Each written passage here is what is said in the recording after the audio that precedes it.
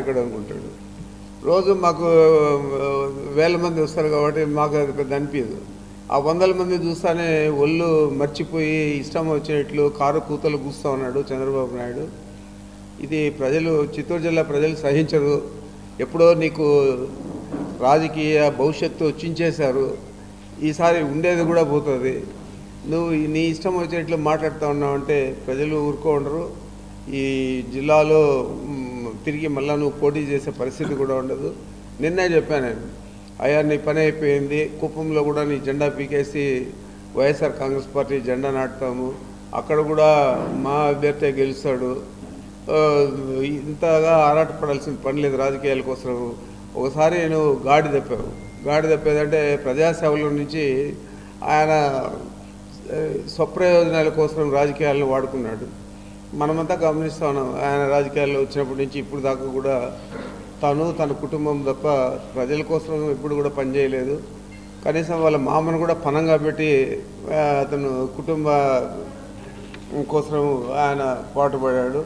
మరి అలాంటి వ్యక్తి ఈరోజు మా గురించి మాట్లాడేదంటే మేము ఏం చెప్పాలి దయాలు వేదాలు నిలిచేది కాదు. రాక్షసుడు ప్రజాకంటకుడు ప్రజల గురించి మాట్లాడడం. చాలా విడ్డూరంగా ఉంది. ఆయన చెప్తాడు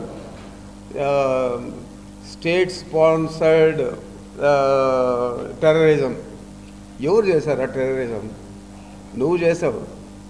బషీర్బాగ్లో పాపం కరెంట్ ఛార్జీల గురించి పోరాడిన రైతులను గాల్చేసావు మహిళలు తమ భవిష్యత్తు కోసం తమ కుటుంబ భవిష్యత్తు కోసం పనిచేస్తా ఉన్న అంగన్వాడీ టీచర్లను గుర్రాలతో తొక్కించావు. మరి అలాంటివన్నీ కూడా ఒక నియంత చేసేటి. అలాంటివన్నీ చేసిన వ్యక్తి నువ్వు ఈరోజు ప్రజాస్వామ్యం గురించి మంచి పాలన గురించి మాట్లాడుతూ ఉన్నావంటే నిజంగానే నీకు ఈ- ఈ తల తిరిగిపోయింది వయసు మళ్ళింది అల్జిమర్స్ ఎక్కువయ్యాయి. కాబట్టి నీ ఇష్టం వచ్చినట్లే మాట్లాడుతూ ఉండవు మాట్లాడినా పర్వాలేదు. మాకు సర్వసాధారణం అయిపోయింది చంద్రబాబు నాయుడు నోరు తెరిస్తే మమ్మల్ని తిట్టే పని తప్పితే వేరే కార్యక్రమం లేదనేది ఈ రాష్ట్ర ప్రజలకు అందరికీ కూడా తెలుసు. దాని గురించి పెద్దగా పట్టించుకొని అక్కర్లేదని నేను అనుకుంటా ఉన్నా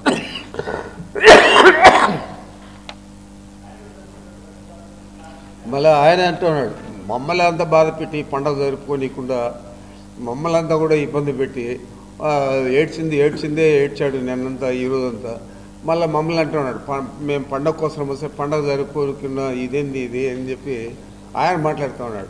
మాట్లాడేది ఆయన చేసేదే ఆయన చేతలన్నీ కూడా ఆయనవే మాటలన్నీ ఆయనవే. మరి రాజకీయ దురుద్దేశంతో మాట్లాడే మాటలు కూడా ఆయనయే. మరి ఆయన మా గురించి మాట్లాడుతూ ఉన్నాడంటే ఇక మనం ఏం చేయాలి? ఇంకా వాళ్ళ మిత్రుని గురించి మాట్లాడుతున్నాడు రఘురామకృష్ణరాజును కొట్టినట్టు కొట్టారు. ఎవరిని కొట్టారు? ఎక్కడ కొట్టారు? ఎక్కడా లేదు. అరెస్ట్ చేస్తే ఎవరు అరెస్ట్ చేయారు? మామూలుగా ప్రజాస్వామ్యంలో ఒక పద్ధతిగా రాజకీయాలు చేసే వాళ్ళని ఎవరు కూడా అరెస్ట్ చేయరు. మితిమీరి ఇష్టం వచ్చినట్లు మాట్లాడితే మేము వాళ్ళ మీద చర్యలు తీసుకోకూడదు పోలీసులు తీసుకుంటే అది మేము రాజకీయంగా చేశామని అతను చెప్తా ఉన్నాడంటే మరి నువ్వు ఏం చేసావు గతంలో? నువ్వు ముఖ్యమంత్రిగా ఉండి ఏం చేసావు ఎంతమందిని హింసించావు? ఎంతమందిని అకారణంగా అరెస్ట్ చేసావు ఎంతమందిని ఇబ్బంది పెట్టావు?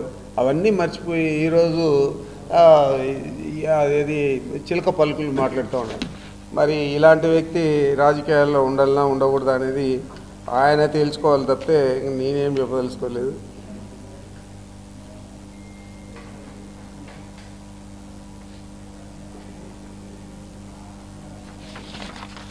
నన్ను ఏదో నేను ఎంత చూస్తా? నీ పని అయిపోయింది మాట్లాడుతున్నాడు. నా పని ఎప్పుడు కాదు. ఈ జిల్లా ప్రజలు ఉన్న రోజులు మేము ప్రజల పక్షాన ఉన్నాము ప్రజలందరూ మా పక్షాన ఉండారు. ఇక్కడ మా పని ఏం కాదు. నువ్వు ప్రజాకంటకుడివి. గతంలో నువ్వు ఏ విధంగా ప్రజాకంటక పరిపాలన చేశావు? ఏ విధంగా ప్రజలు నిన్ను చీకొట్టారు? ఈ జిల్లాలో ఏ రోజు కూడా నువ్వు ముఖ్యమంత్రి అయినప్పటి నుంచి మీ మామను వెన్నుపోటు పొడిచి నువ్వు ముఖ్యమంత్రి అయినప్పటి నుంచి ఇప్పుడు దాకా కూడా నీకెప్పుడు కూడా మెజారిటీ రాలేదు. చిత్తూరు జిల్లాలో మెజారిటీ సాధించాలంటే నీ నుంచి కాదు మీ బాబు నుంచి కూడా కాదు మీ నిన్ను పుట్టించిన మీ తాతల నుంచి కూడా కాదు. ఇక్కడ కేవలం వైఎస్ఆర్ కాంగ్రెస్ పార్టీ మాత్రమే పదవిలో ఉంటుంది. వైఎస్ఆర్ కాంగ్రెస్ పార్టీ శాసనసభ్యులే గెలుస్తారు. ఇది జగన్మోహన్ రెడ్డి గారు ఈ ప్రజలకు ఏం మంచి చేశాడు ఏం మంచి చేయలేదనే దానికి ఇది ఒక ఈ యాడ్ స్టిక్. యాడ్ స్టిక్ అంటే కొలబద్ద ఆ కొలబద్ద మాదిరే ఆయన మంచి చేశాడా లేదా అనే దానికి ప్రజలందరూ కూడా మ, ఒత్తాసు పలుకుతూ ఉన్నారా లేదా మద్దతు ఇస్తూ ఉన్నారా లేదా అనేది ప్రజలు చెప్తారు. నువ్వుగా చెప్పాల్సింది. నీకు ప్రజాకంటకుడు అనే పేరు ఎప్పుడో ఉంది. ఇప్పుడు కొత్తగా మేము చెప్పాల్సిన పని లేదు. నా అంతు నువ్వు చూడాల్సిన పని లేదు నీ అంతు ఈ చిత్తూరు జిల్లా ప్రజలు చూస్తారని చెప్పి కూడా నేను తెలియజేస్తా ఉన్నాను. ఇంకా బాగా ఈ జగన్మోహన్ రెడ్డి ఇంత తెలివినోడు ఈ జగన్మోహన్ రెడ్డి ముఖ్యమంత్రి అయిపోయాడు ఈ జగన్మోహన్ రెడ్డి అన్ని కిలోమీటర్లు మూడు వేల ఆరు వందల ఎనిమిది కిలోమీటర్లు నడిచాడు. మరి నా కొడుకు ఏందో ఇంత అసమర్థుడు నా కొడుకునేమో శుద్ధముద్ద అంటారు. మరి ఇలాంటి కొడుకు నాకు పుట్టలేదని అది కూడా ఒక బాధ ఆయనకు. జగన్మోహన్ రెడ్డి గారిని తలుచుకుంటానే వాళ్ళ కొడుకు గుర్తొస్తాడు. మరి ఈ విధంగా ఆయన ఈ ప్రతిదీ ఆలోచించుకొని ఉన్న అల్జీమర్స్ని ఎక్కువ చేసుకుంటూ ఉన్నాడు. ఇంకా ఆయన కొద్దిగా విశ్రాంతి తీసుకొని ఆరోగ్యం బాగా చూసుకోవాలని చెప్పి నేను చంద్రబాబు నాయుడు కోరుతా ఉన్నాను. అదేవిధంగా ఆయన ఈ ఎవరు రాష్ట్రపతితో మాట్లాడుతూ ఉంటాడు రాష్ట్రపతి ఎవరు? లేదా ప్రధానమంత్రితో మాట్లాడుతూ ఉంటాడు లేదా ఇంకా ఎక్కువ ఎక్కువ మాట్లాడతాడు. ఇవన్నీ ఎవరి గురించి మాట్లాడుతూ ఉన్నావు నువ్వు? నువ్వేనా రాధాకృష్ణ గురించి మాట్లాడుతున్నావా? లేకపోతే ఏదైనా మన పెద్ద ఆయన ఈనాడు అధినేత గురించి మాట్లాడుతూ ఉన్నావా? మరి మాకు ఇవన్నీ తెలియదు. కోర్టు రిమాండ్ విధిస్తే అది తప్పు. కోర్టులను మేము ఎప్పుడు కూడా గౌరవిస్తున్నాం ఆయన పని జరిగితే గౌరవిస్తాడు. కోర్టుల మీద చాలా మర్యాద ఉన్నట్లు. పని జరగలేదనుకో న్యాయమూర్తులు కూడా ఈ విధంగా పనిచేస్తారని చెప్పి ఈరోజు మాట్లాడాడు. మీరు చూడాలి అది కూడా- అది కూడా. మరి న్యాయమూర్తులను తిట్టే పరిస్థితి నీకుంది. రాజకీయ నాయకులను తిట్టే పరిస్థితి ఉంది. ఒక వ్యవస్థను తిట్టే పరిస్థితి నీకుంది. మరి నీ మానసిక పరిస్థితి గురించి నేను అడుగుతా ఉండా నీకు బాగుందా లేదా? ఓసారి నువ్వు చూసుకోకూడదా? డాక్టర్లతో పాటు చూపించకూడదా మరి ఎందుకు ఈ విధంగా నువ్వు న్యాయ వ్యవస్థల గురించి కూడా ఆ, అవహేళనగా మాట్లాడావని చెప్పి కూడా నేను అడుగుతా ఉన్నాను. మేము జైల్లో పెట్టామంట. ఎవరు జైల్లో పెట్టారు? ఒళ్ళు బలిసి ఇష్టం వచ్చినట్లు నీవు ప్రేరేపిస్తూ ఉన్నావు గూండాలుగా తయారు చేస్తూ ఉన్నావు మీ కార్యకర్తలు. వాళ్ళు గూండాలుగా వ్యవహరించి అన్నీ చేస్తే లా అండ్ ఆర్డర్ను వాళ్ళ చేతులకు తీసుకుంటే పోలీసు వ్యవస్థ ఊరుకో ఉంటుందా? తన పని అది చేస్తుంది. తప్పకుండా అరెస్ట్ చేస్తారు తప్పకుండా కేసులు పెడతారు. మరి అది నీకు తెలియదా అని నేను అడుగుతా ఉన్నాను. నువ్వు గతంలో ఏం చేసావు ఎంతమంది మీద కేసులు పెట్టావు అన్యాయంగా? ఎంతమంది మీద కేసులు పెట్టేదే కాకుండా ఎంతమందిని అన్యాయంగా నువ్వు హింసించావు? ఆ విధంగా కాకుండా చట్ట ప్రకారం వ్యవహరిస్తే అది కూడా నాకు అనుకూలంగా లేదు కాబట్టి ఈ చట్టం కూడా నేను నమ్మననే పరిస్థితిలో ఆయన మాట్లాడుతూ ఉన్నాడు.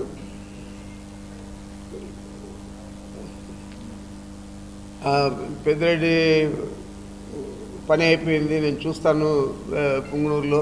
నేను పుంగనూరులో ఏం చూసేది? కుప్పంలోనే నీ పరిస్థితి నేను చూస్తూ ఉండను నీ జెండా బీకేస్తావు తప్పకుండా ఆడ వైఎస్ఆర్ కాంగ్రెస్ పార్టీ గెలుస్తుంది జగన్మోహన్ రెడ్డి గారి ఆధ్వర్యంలో. అది నీకు తెలుసు. మరి నువ్వేదో ఇష్టం వచ్చేట్లు మాట్లాడితే జెండా మోసేదానికి నీకు శక్తి లేదు. పవన్ కళ్యాణ్ పట్టుకొని అయ్యా ఈ కట్టి పట్టుకొని ఈ జెండా పోయి అని చెప్పి పవన్ కళ్యాణ్ చేతికిచ్చావు ఆ విధంగా కాదు. జగన్మోహన్ రెడ్డి గారు స్వయంగా పర్యవేక్షించి స్వయంగా కుప్పంలో ఎన్నికలు సజావుగా జరిగే విధంగా చూసేదే కాకుండా నీ అంతం పలికేదానికి జగన్మోహన్ రెడ్డి గారు ఎప్పుడో ఒక స్కెచ్ చేశాడు. ఆ స్కెచ్ స్కెచ్ ప్రకారం అక్కడున్న ప్రజలందరూ కూడా కుప్పంలో వైఎస్ఆర్ కాంగ్రెస్ పార్టీకి మద్దతు ఇచ్చేదే కాకుండా నిన్ను పర్మనెంట్గా రాజకీయాల నుంచి ఇంటికి పంపించే కార్యక్రమం చేయబోతా ఉన్నారు. సిద్ధంగా ఉందని కూడా నేను తెలియజేస్తా ఉన్నాను ఉన్నట్టుండే ఆయన మైనారిటీలు గుర్తుకొచ్చారు. మైనారిటీలకు అన్యాయం జరిగిపోయింది పెద్దిరెడ్డి ఆధ్వర్యంలో అతను మంచోడా పిచ్చోడా అనేదానికి నేను ఒకటే అడుగుతున్నాను ఫస్ట్ ఈ జిల్లాలో కాదు రాష్ట్రంలో ఒక మైనారిటీని మండల్ ప్రెసిడెంట్గా చేశాను నేను. బాబాసాహెబ్ అనే వ్యక్తిని సోమల మండలంలో మండల ప్రెసిడెంట్ చేశాను. ఫస్ట్ ఒక వ్యక్తిని నేను మైనారిటీ వ్యక్తిని జడ్పీటీసీగా చేశాను అదే బాబాసాహెబ్. సింగిల్గూడ ప్రెసిడెంట్ చేశాను. ఆ విధంగా మైనార్టీలందరూ కూడా ఈరోజు జనరల్ సీట్ అయినా కూడా మైనార్టీలకే ఇస్తూ ఉన్నాం పుంగనూరు మున్సిపాలిటీ. మరి ఇవన్నీ కూడా మైనార్టీ సోదరులకు అందరికీ కూడా తెలుసు. మేము మైనార్టీల కోసం పాటుపడుతూ ఉండామా లేదా? జగన్మోహన్ రెడ్డి గారు మైనార్టీల కోసం ఏ విధంగా చేశాడు? కనీసం ఒక ఎమ్మెల్సీ లేదు ఒక మంత్రిని చేయలేదు ఒక శాసనసభ్యుని గెలిపించుకోలేదు. ఈరోజు వైఎస్ఆర్ కాంగ్రెస్ పార్టీలో మైనార్టీలకు పెద్ద పీట వేసేది కాకుండా శాసనమండలి శాసన మండలి సభ్యులు ఉన్నారు శాసనసభ్యులు ఉన్నారు మంత్రి ఉన్నారు. మైనార్టీలకు కావాల్సిన అన్ని కార్యక్రమాలు కూడా వారి ద్వారా ఈరోజు రాష్ట్రంలో వైఎస్ఆర్ కాంగ్రెస్ పార్టీ అధికారంలోకి వచ్చిన తర్వాత జగన్మోహన్ రెడ్డి గారు చేస్తూ ఉన్నాడు అనేది నీకు తెలుసు మీ పార్టీ నాయకులకు తెలుసు కార్యకర్తలకు తెలుసు. మైనార్టీలకు ఏదైనా పెద్దపీట వేయడం అనేది రాష్ట్రంలో ఉంటే అది ఒక జగన్మోహన్ రెడ్డి గారి వల్లే జరిగింది తప్ప నువ్వు ఎప్పుడు కూడా మైనార్టీలకు అన్యాయం చేసావు ఎస్టీలకు అన్యాయం చేసావు. ఒక ఎస్టీ కూడా నీ దగ్గర శాసనసభ్యుడు కాలేకపోయాడు. ఎస్సీలకు ఆరు నెలలకు ఒకసారి మంత్రి పదవి ఇచ్చి వాడిని పెరిగేసి మళ్ళీ ఇంకొకరిని ఇచ్చే పరిస్థితి కూడా చేసావు ఎస్సీలు అంటే కూడా గౌరవం లేదు. ఈరోజు మేము ఐదు మంది డిప్యూటీ సీఎంలు ఉన్నారంటే మా మిత్రుడు నారాయణ స్వామి గారు ఒక డిప్యూటీ సీఎం.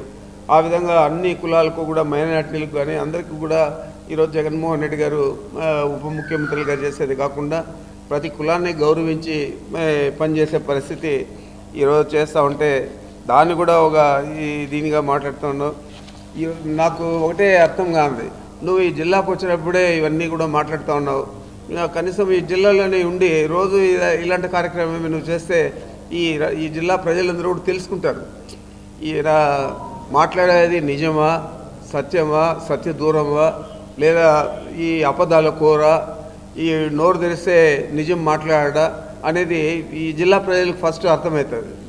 నువ్వు జిల్లా వదిలేసావు ఎప్పుడో వెళ్ళిపోయావు నువ్వు.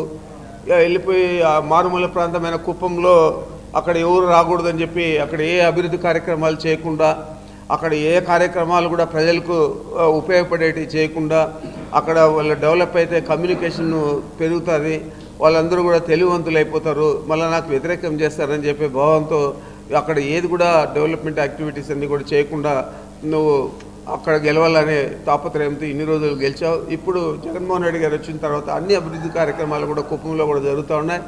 నీకు కూడా తెలుసు నీ అభిష్టం మేరకే నిన్న కూడా చెప్పాను నీ అభిష్టం మేరకే నువ్వు అడిగిన తర్వాతే ముఖ్యమంత్రి గారు చాలా మంచి హృదయంతో అక్కడ ఒక రెవెన్యూ డివిజన్ కూడా ఏర్పాటు చేశాడు. అక్కడ ఒక మున్సిపల్ మున్సిపాలిటీని కూడా కుప్పం పట్టణానికి ఏర్పాటు చేశాడు. అక్కడ అన్ని కార్యక్రమాలు జరుగుతున్నాయి. నువ్వు పద్నాలుగు సంవత్సరాల్లో చేయలేని అంద్రినీవ కాలువను ఈరోజు ఆగమేఘాల మీద జగన్మోహన్ రెడ్డి గారు పూర్తి చేస్తూ ఉన్నారు. మరి ఈ కార్యక్రమాలన్నీ అక్కడ జరుగుతున్నాయి కాబట్టి నీ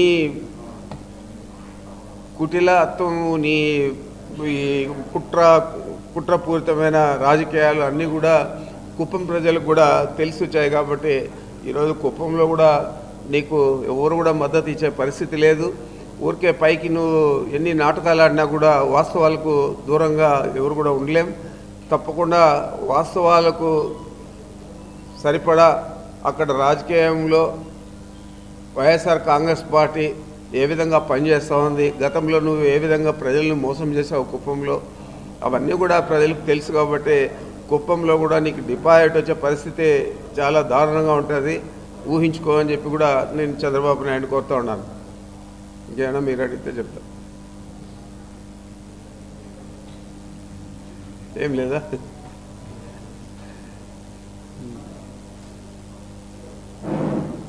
మాట్లాడు బా నారాయణ స్వామి గారు మాట్లాడు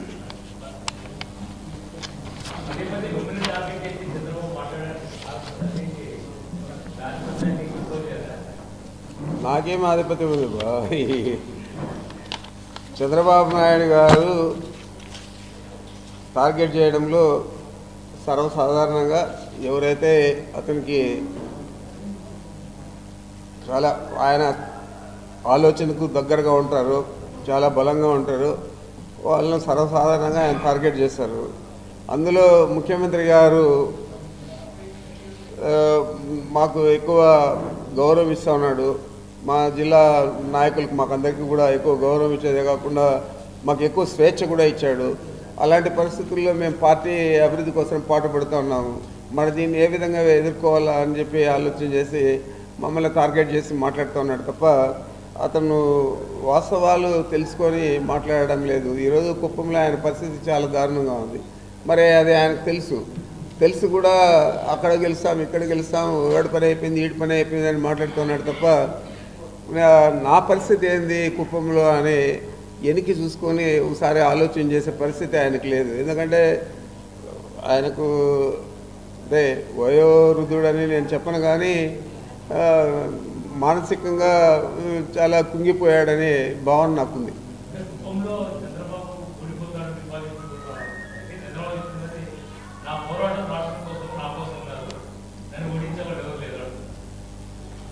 ఓడిపోయిన తర్వాత ఓడించేవాడు ఎవరు ఉంటారు?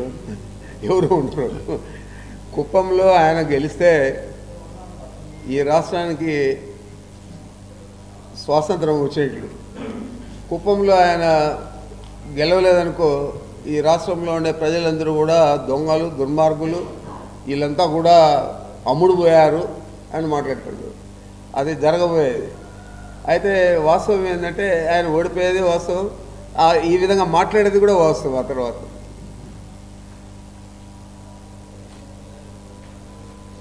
ఇంకైనా కానీ నేను ఒకటే మీ ద్వారా అతన్ని ముఖిలిత హస్తాలతో కోరుకుంటా ఉన్నాను నాయనా చంద్రబాబు నీ జోలికి మేము రావడం లేదు. నువ్వు ఈ జిల్లాకు వచ్చావు. వచ్చినప్పటి నుంచి కుటుంబ సభ్యులతో పండగ పూట పండగ గడుపుకోకుండా మా మీద టార్గెట్ చేసి రోజు నిన్న మాట్లాడతావు ఈరోజు మాట్లాడతావు రేపుంటే రేపు మాట్లాడతావు. ఎందుకు నీకు ఈ బాధ? ఎందుకు ఇంత నీకు ఈర్ష్య? ఎందుకు ఇంత కక్షతో మాట్లాడుతూ ఉన్నావు? కనీసం రెండు రోజులైనా కానీ పండగలో ప్రశాంత వాతావరణంలో మీ కుటుంబ సభ్యులతో ఎందుకు గడపలేకపోతా ఉండవు? అని నేను వారిని కోరుతా ఉన్నా. నాయన ఇప్పుడైనా కానీ మర్చిపోయి ఇవన్నీ మీ కుటుంబ సభ్యులతో బాగా కాలం గడుపు తర్వాత మళ్ళా విజయవాడకు పోయినాకో హైదరాబాద్కు పోయినాకో మమ్మల్ని గుర్తు తెచ్చుకొని మాట్లాడు తప్ప ఈ జిల్లాలో ఇంకా ఇలాంటి వ్యాఖ్యలు చేయకుండా ఉండడం నీకు కానీ నీ ఆరోగ్యానికి కానీ మంచిదని చెప్తా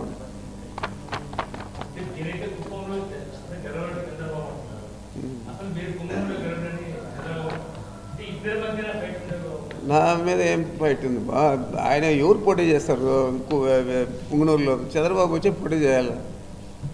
నేను గెలిచానా గెలినా అనడానికి చంద్రబాబు వచ్చి పోటీ చేయాలి? ఆయన చేయమని చెప్పు. నేను ఆహ్వానిస్తా ఉన్నాను.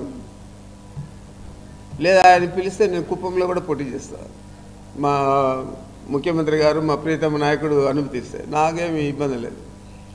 నా టార్గెట్ అంతా చంద్రబాబు నాయుడే. మంచి కానీ చెడ్డ కానీ చంద్రబాబు నాయుడుతోనే పోరాడాలి.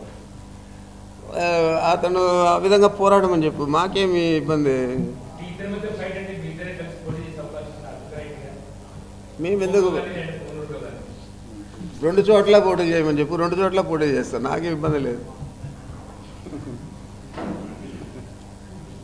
చంద్రబాబు నాయుడు ఒక మేక పోతు గంభీర్యం ప్రదర్శించే రాజకీయ నాయకుడు. అతనికి ధైర్యం లేదు అలాంటి సాహసము చేయలేడు. చేస్తాడని నేను అనుకోలేను. నాకున్న అతనితో ఉన్న అనుభవం దాదాపు నలభై ఐదు యాభై సంవత్సరాలు.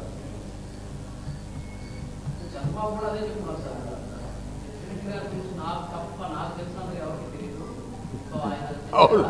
బాగా తెలుసు నా గురించి. యూనివర్సిటీ నుంచి తెలుసు అంటే నేను మాట్లాడే చంద్రబాబు చంద్రబాబు రెండు చోట్ల పోటీ చేసి మీరు రెండు చోట్ల చేస్తారు సార్. పార్టీ అనుమతించాలి కదా. రెండు టికెట్లు ఒక వ్యక్తికి ఇస్తారా? మూడు టికెట్లు ఇస్తారా? నాలుగు ఇస్తారా? ఎక్కడ జగన్మోహన్ రెడ్డి గారు పోటీ చేయమంటే అక్కడ చేస్తాము అంటే నెక్స్ట్ ఎన్నికల్లో అధికారంలోకి వచ్చేసాము అనే ఒక ఆలోచనలో చంద్రబాబు నేను ఒకటి వ్యాఖ్య చేశాను ఈ పండుగకి మా కార్యకర్తల్ని ఆ, ప్రెసిడెంట్ గారు జైల్లో పెట్టించారు నెక్స్ట్ ఇయర్ పండక్కి నేను- మమ్మల్ని కూడా మా కార్యకర్తలను కూడా అకారణంగా జైల్లో పెట్టించాడు. ఇప్పుడు మేము జైల్లో పెట్టిన వాళ్ళందరూ గూండాకోర్లు. గూండాకోర్లు ప్రజాస్వామ్య వ్యతిరేకులు. నువ్వు ఆ విధంగా తయారు చేసావు కాబట్టి చంద్రబాబు నాయుడు తయారు చేశాడు గుండాలుగా తయారు చేసి ఎదుర్కోండి నేను ఉన్నాను పోరాడండి అని చెప్పి. ఏది యుద్ధమా ఇది? పోరాడేది. ఆ విధంగా అతను తయారు చేశాడు కాబట్టి చట్టం దాని పని దాన్ని చేసుకొని పోతా ఉంది. అంతేగాని నువ్వు ఏమీ లేకుండా కారణం లేకుండా మమ్మల్ని కూడా జైల్లో పెట్టించావు కదా. జనవరి ఫస్ట్ జైల్లో ఉన్నాడు మిథున్ రెడ్డి. జనవరి ఫిఫ్టీన్త్ జైల్లో ఉన్నాడు. ఇరవై రోజులు ఇరవై రెండు రోజులు జైల్లో పెట్టించావు. ఏం తప్పు చేశాడని?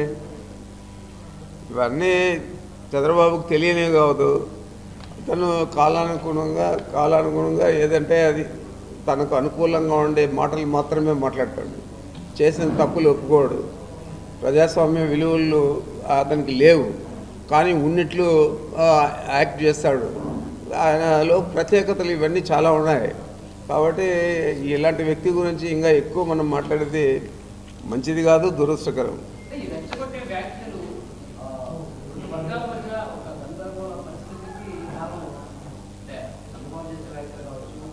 ఎక్కడ ఉన్నాయబ్బా వర్గాలు?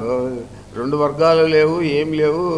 ఆయన ఒకడే చంద్రబాబు ఒకడే వర్గం. అంతేగాని ఆయన రెండు వర్గాలుగా తయారు చేసి పోరాడించేంత శక్తి చంద్రబాబు ఉందా? ఏం లేదు.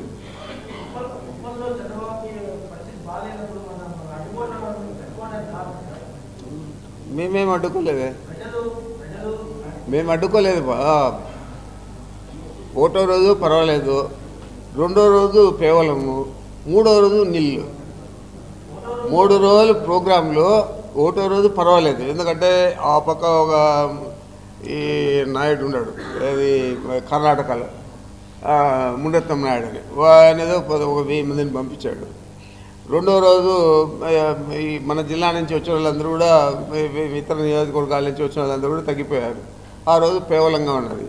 మూడో రోజు అసలు లేదు. మూడో రోజు వందల మంది రెండు వందలు వందో ఉన్నారంతే ఆయనతో. ఆయనకు తెలుసు కుప్పంలో ఆయన పరిస్థితి ఏందని తెలుసు. మేము గొప్పగా చెప్పుకోనక్కర్లేదు. రేపు ఎన్నికలు వస్తే ఎంత దారుణంగా ఓడిపోతాడో చంద్రబాబు నాయుడికే తెలుసు.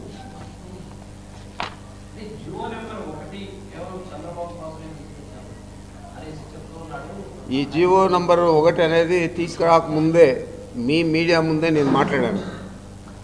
ఈ సంఘటన జరిగేది చాలా దురదృష్టకరం. నేను చింతిస్తూ ఉన్నాను. మా పార్టీ కూడా దీని మీద బాధపడుతూ ఉంది. మరి మారుమూల ఉన్న సందుల్లో మారుమూల ఉన్న చిన్న చిన్న వీధుల్లో ఇలాంటి కార్యక్రమాలు చేయడం చాలా దురదృష్టకరం. ప్రభుత్వం ఇంకా మీదట అయినా కానీ నేను డీజీపీకి అప్పీల్ చేస్తాను చీఫ్ సెక్రటరీకి అప్పీల్ చేస్తాను ఎస్పీలకు కలెక్టర్లకు చెప్తాను. ఇంకా మీదట ఇలాంటి వాటికి పర్మిషన్ ఇవ్వకుండా ఏదో ఒక రకంగా మనము దీన్ని అవాయిడ్ చేయాలని చెప్పి నేను చెప్పాను. తర్వాత జియో నంబర్ వన్ వచ్చింది. జీవో నెంబర్ వన్లో ఏముంది? ప్రజలకు ఇబ్బంది కలగకుండా మీరు సమావేశాలు జరుపుకోవాలా? ఎక్కడంటే అక్కడ పెట్టకూడదు. అనుమతి తీసుకొని ఏదైనా విశ్రాయంగా ఉండే ఏరియాలో జరగాలని చెప్పి ఇవ్వడం జరిగింది. అది జీవో నెంబర్ వన్ అనేది ఇవ్వడంలో తప్పేముంది? అది మీరు ముందే జీవో నెంబర్ వన్ అనేది వచ్చింటే ఈ పదకొండు మంది చనిపోయాడు పదకొండు మంది అకారణంగా చనిపోయారు. దీన్ని మామూలుగా అయితే చంద్రబాబు ఏమని అంటాడు ఇవి హత్యలు. పదకొండు మందిని జగన్మోహన్ రెడ్డి గారు చంపేశారు. అతి క్రూరంగా చంపేశారు అని చెప్పింటాడు